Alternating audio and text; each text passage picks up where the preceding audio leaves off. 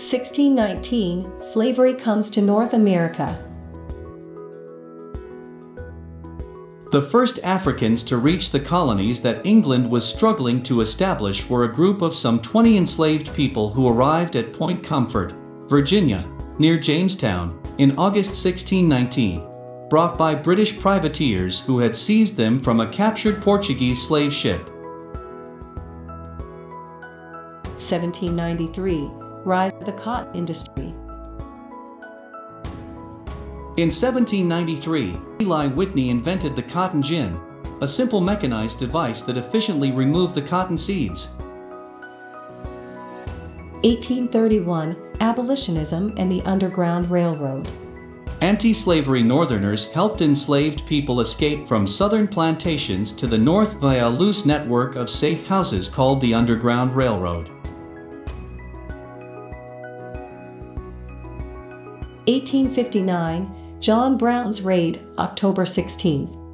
On the night of October 16, 1859, John Brown led a small band of less than 50 men in a raid against the federal arsenal at Harper's Ferry, Virginia, where he was arrested. John Brown, a passionate opponent of slavery, was hanged on December 2, 1859, becoming a martyr of the cause.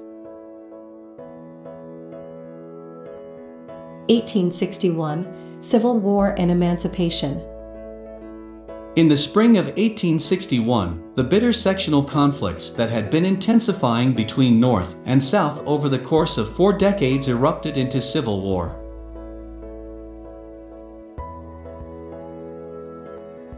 Eighteen sixty-five, the post-slavery South. Though the Union victory in the Civil War gave some 4 million enslaved people their freedom, significant challenges awaited during the Reconstruction period.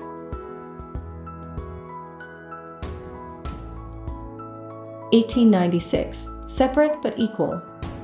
As Reconstruction drew to a close and the forces of white supremacy regained control from carpetbaggers, Northerners who moved south, and freed black people, Southern state legislatures began enacting the first segregation laws, known as the Jim Crow Laws.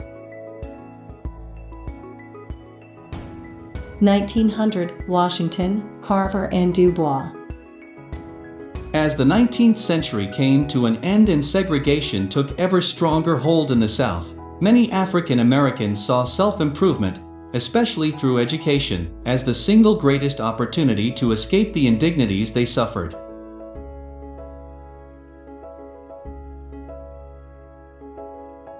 Nineteen oh nine NAACP founded.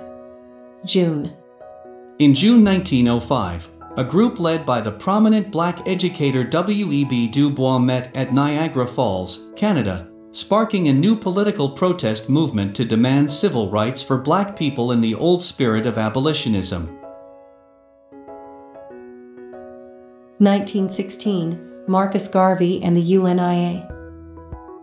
Born in Jamaica, the black nationalist leader Marcus Garvey founded his Universal Negro Improvement Association, UNIA, there in 1914. Two years later, he brought it to the United States.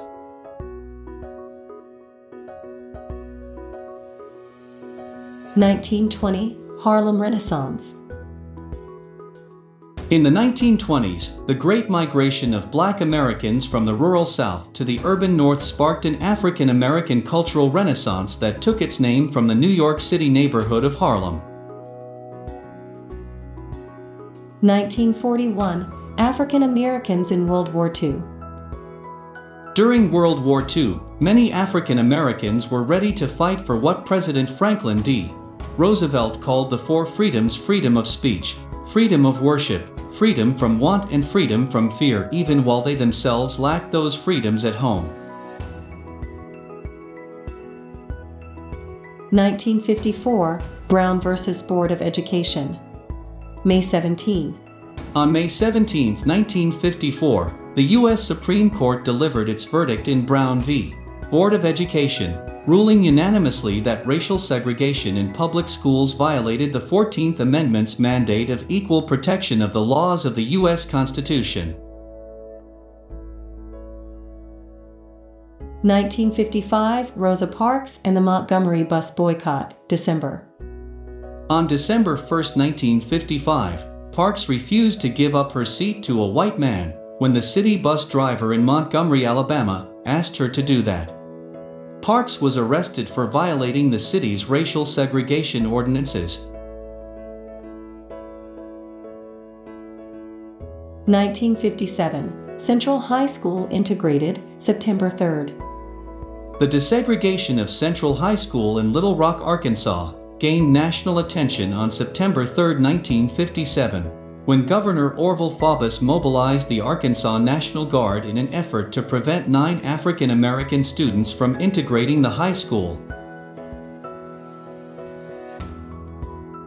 1960 Sit-in Movement February 1st On February 1, 1960, for black students from the Agricultural and Technical College in Greensboro, North Carolina, were refused service due to the counter's whites-only policy. They stayed until the store closed, then returned the next day with other students and was heavily covered by the news media.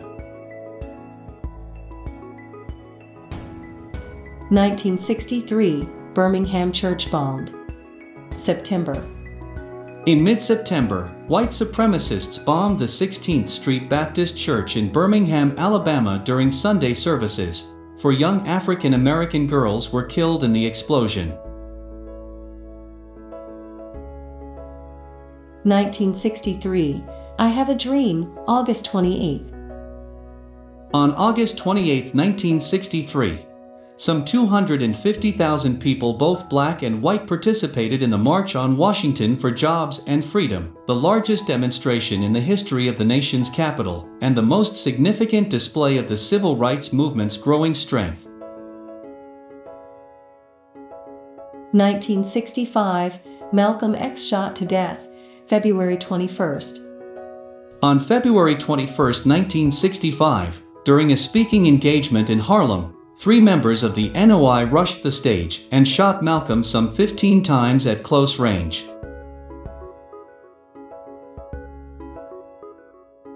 1965 Voting Rights Act, August.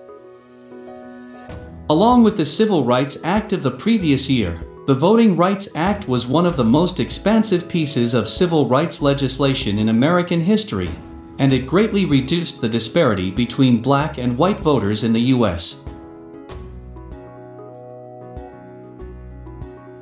1968 Martin Luther King Jr. assassinated, April 4th. On April 4, 1968, the world was stunned and saddened by the news that the civil rights activist and Nobel Peace Prize winner Martin Luther King Jr. had been shot and killed on the balcony of a motel in Memphis, Tennessee. 1984 Jesse Jackson galvanized black voters. He was a leading voice for black Americans during the early 1980s, urging them to be more politically active and heading up a voter registration drive that led to the election of Harold Washington as the first black mayor of Chicago in 1983. 1992 Los Angeles riots. In March 1991, officers from the Los Angeles Police Department shot Rodney King with a taser gun and severely beat him after a high-speed chase for speeding. King was on probation for robbery and had been drinking. The beating inspired widespread outrage in the city's African American community. 2008 Barack Obama becomes 44th U.S. President.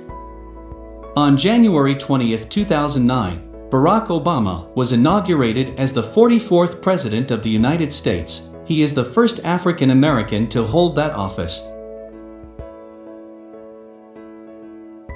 2013 The Black Lives Matter Movement. July 13. The hashtag tag Black Lives Matter first appeared on Twitter on July 13, 2013 and spread widely as high-profile cases involving the deaths of black civilians provoked renewed outrage. 2020 George Floyd protests, May 25th. The movement swelled to a critical juncture on May 25, 2020, in the midst of the COVID 19 epidemic when 46 year old George Floyd died after being handcuffed and pinned to the ground by police officer Derek Chauvin. 2021 Kamala Harris becomes U.S. Vice President. January. In January 2021, Kamala Harris became the first woman and first woman of color to become Vice President of the United States.